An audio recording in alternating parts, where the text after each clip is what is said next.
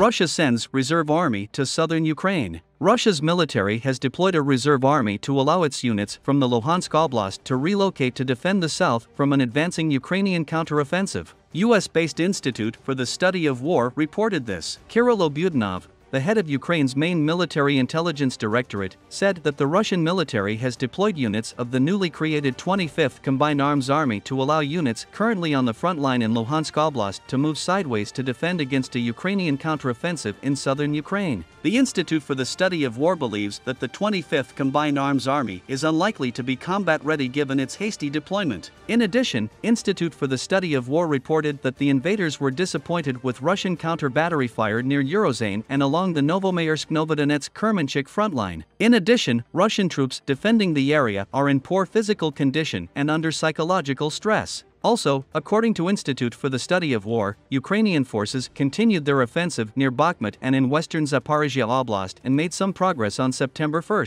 Geolocation footage shows that Ukrainian forces have made minor advances northwest of Klishchivka.